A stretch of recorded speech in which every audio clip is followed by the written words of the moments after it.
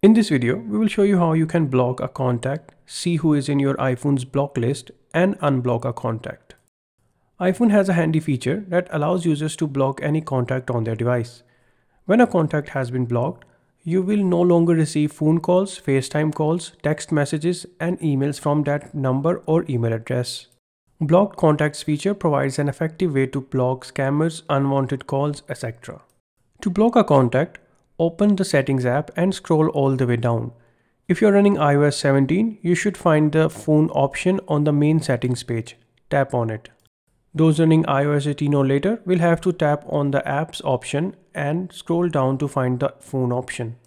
On the next page, tap on the blocked contacts option. On this page, you will find a list of all the contacts that have been blocked by you.